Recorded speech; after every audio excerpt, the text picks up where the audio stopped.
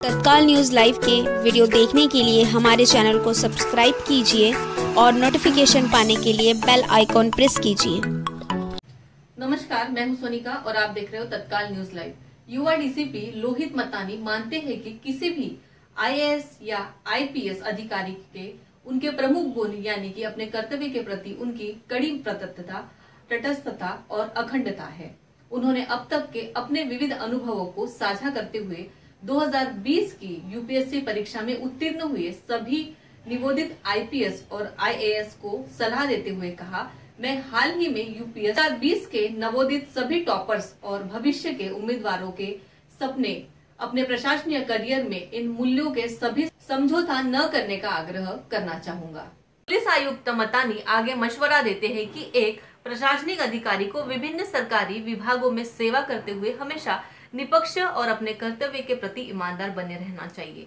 Nagpur today से विशेष बातचीत करते हुए डीसीपी मतानी ने दुनिया की सबसे कठिन परीक्षाओं में से एक यूपीएससी को क्रैक करते हुए सेल्फ स्टडी, करंट अफेयर के महत्व पर भी विस्तृत चर्चा की। उन्होंने विशेषतः महाराष्ट्र राज्य के यूपीएससी टॉपर्स को इस बात के लिए बहुत बधाई भी दी।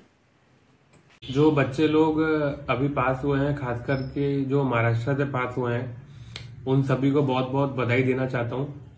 और ये आशा करता हूँ कि आप लोग पूरी इंटीग्रिटी और ईमानदारी के साथ अपना काम करेंगे। और ये बोलना चाहता हूँ कि सिविल सर्विसेज़ में खास करके इंडियन एडमिनिस्ट्रेटिव सर्विस और इंडियन पुलिस सर्विस में, सबसे इम्पोर्टेंट आज के टाइम में जो है क्वालिटी है, वो न्यूट्रलिटी है।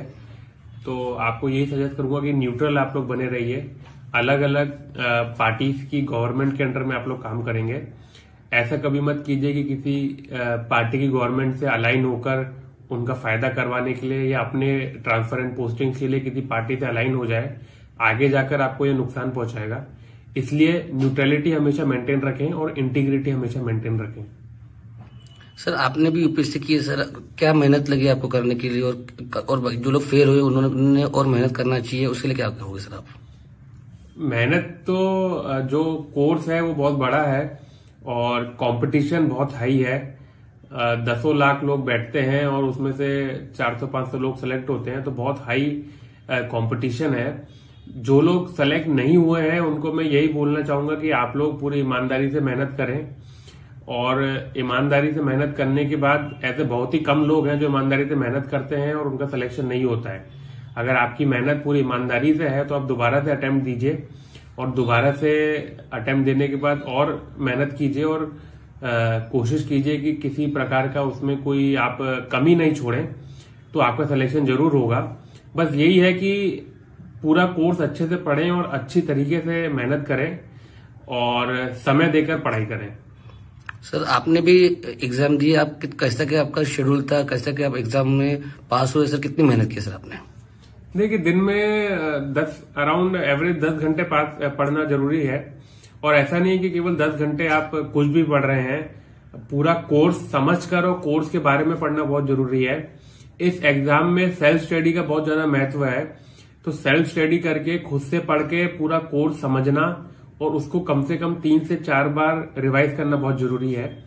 इसके साथ साथ जो करंट अफेयर्स है जो लेटेस्ट जो इवेंट्स चलते रहते हैं, उनके बारे में जानकारी रखना, उनका एनालिसिस करना और उनको ट्रेडिशनल टॉपिक से कनेक्ट करके पढ़ना बहुत ज़रूरी है।